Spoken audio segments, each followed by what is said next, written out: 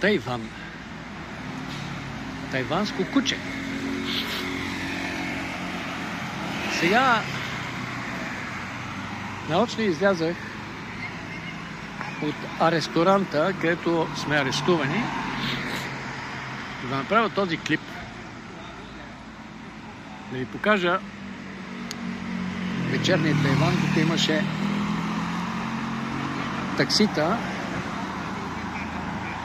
Вероятно и това са таксита. И ние сме тук в ресторант, арестувани.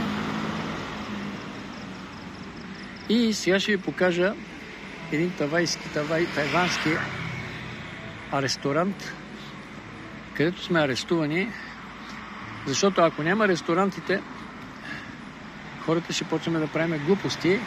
Ако няма мачове, където да се изходи гадната енергия,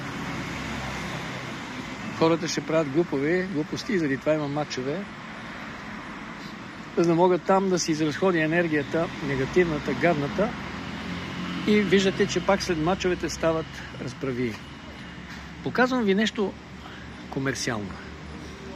По същия начин, както са комерциални нашите ресторанти, а ресторанти, нашата музика, нашия спорт, нашата медицина, всичко стана комерциално. И това всичко е направено за посрещане на такива гости като нас, които да дойдат тук, да се ядат, да се напият, да си напълнат турбата. Не да получат духовна култура, духовно извисяване, а да се ядат, да се напият, да си напълнат турбата. И внимавайте, има някои места ще говоря или по-тихо, или няма да говоря.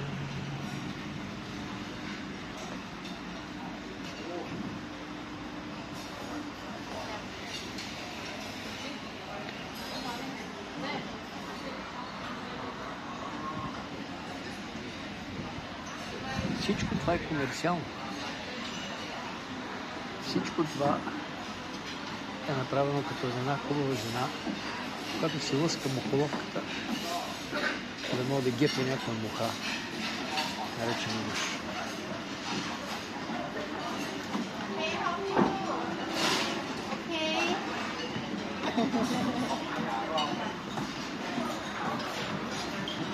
Тук е нашата група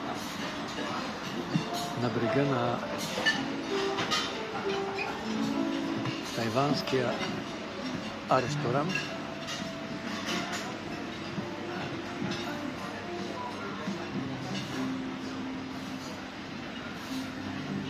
Върнете се 200 години назад, дори не е необходимо 200 години, върнете се 100 години назад, когато още не е имало ток по селата, когато не е имало лъскави дрехи, гащи, туалетни хартии, дамски превръзки. Даже чорапи не е имало.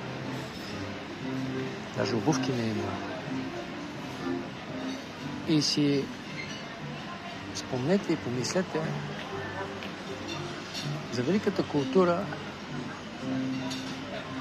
на великия български народ, който даже не е имал и туалетни, той и сега няма туалетни по селата. Има клозети и нужници. И ще ме разберете за какво ви говоря. Защото днес може да говорим, че по едно време не е имало банани, че по едно време не е имало гориво.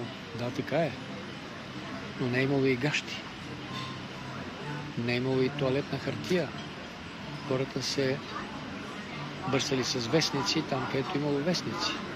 А и вестници не е имало, по село не са чели вестници. Показвам ви красота. Зацапана от такива като нас. с комерциални настроения и намерения в Тайван, а и не само в Тайван. Днеска бъзнах тук един от преводачите за... Понеже има много меки китки тук, и въпросът ми беше има ли много. И той каза, о да, много съм. И викам, как си го обясняваш това? И той казва, живота преди години е бил много труден тук. Хората са живели в малки села, в семейство, в групи,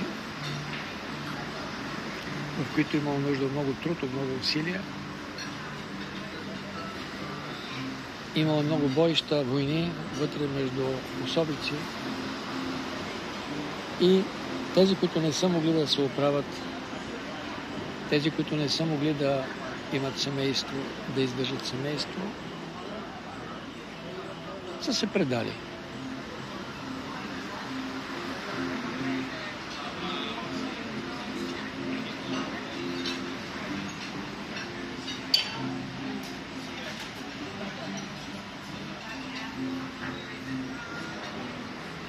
Показвам ви един ресторант, в който тук са дошли не да работят, а да се наплюскат, да напълнат турбата, червото. Обикновено аз не вечерам. Ред причини, защото това е вредно за моя организъм, механизъм. Но кой го интересува кой е вредно какво не е? Важното е да напълни турбата.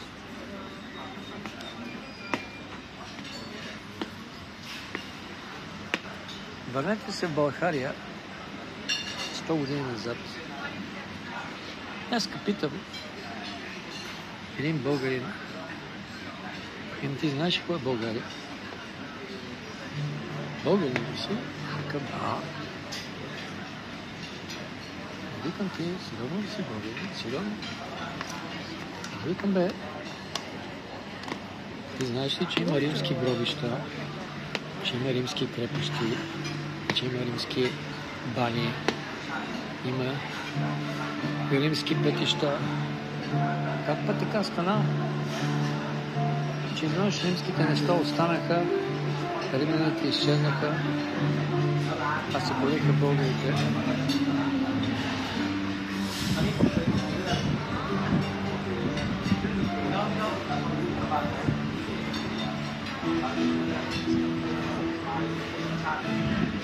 Това е невъзможно. България е едно географско понятие. България е една дума. Тайван е една дума, едно географско понятие, което от космоса не се вижда.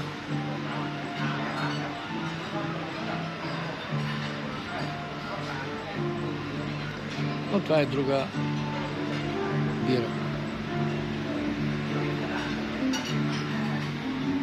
Порции. Тук хората обикновено са ниски, с дръпнати очи, в нашата група има хора с дръпнати очи, което означава, че някъде там в миналото има монголска кръв.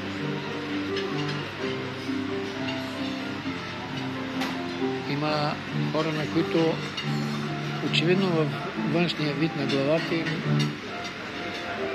е отпечатано турско, хора с малка мозъчна котия, и голямо лице. Ето сега. Погледнете го този. Вижте колко му е шишарката отзад над ухото. И вижте колко му е голямо лицето в съотношение с лицето малка шишарка. Малка мислеща част. Това нещо, като качество, може да го намерите в себе си, вашите близки родини. И знайте, че тези, на които черепната котия отгоре е малка, не могат да имат добри интелектуални заложби, генетични качества положителни, да не показвам такива от нашата.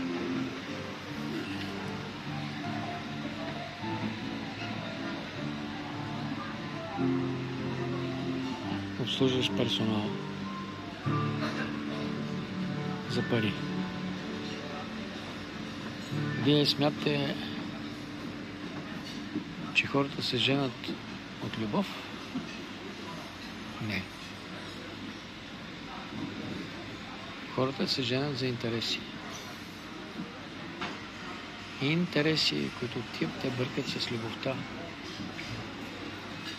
Всеки търси в неговата половинка любов. И неговата половинка търси любов. Самият факт, че търсиш любов, показва, че нямаш любов. Самият факт, че търсиш пари, показва, че нямаш пари. Търсиш здраве, означава, че нямаш здраве. Търсиш ум, значи нямаш ум. Търсиш щастие, защото си нещастник. Тук е пълно именно с такива. И аз съм един от тях. Тази разлика, че аз знам това.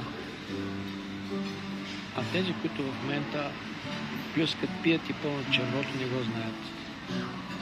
Просто не са се замислили. Дръпнатите очи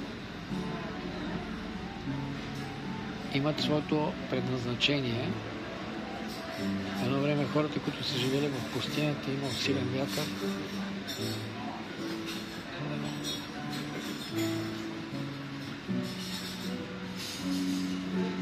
Славянка.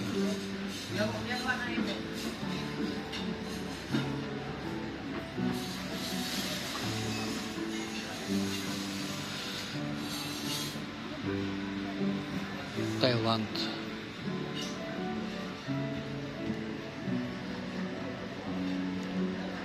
Страната на усмивките.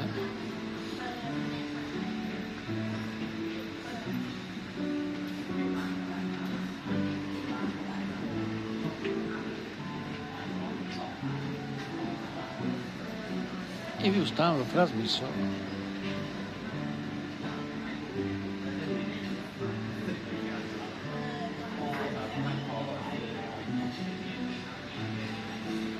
Усет.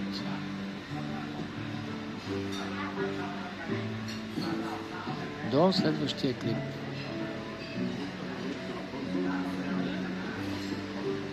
В който ще ви кажа, че всичко тук е сборожба на интереси, на комерциални интереси. И когато хората се чифтосват и правят семейства, от които 70, 80, 90% се разпадат, показват, че тези семейства не са направени от любов и с любов. Те са изтъкани от интереси,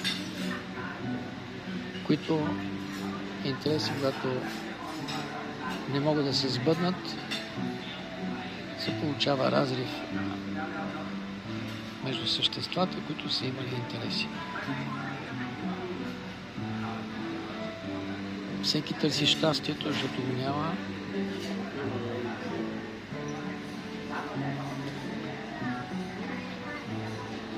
Натам е туалетната.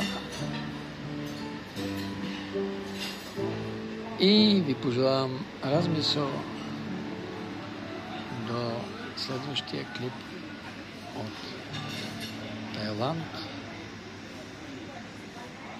Една дума, едно географско понятие, в което не може да живее един глупак, камо ли милиони. Чао!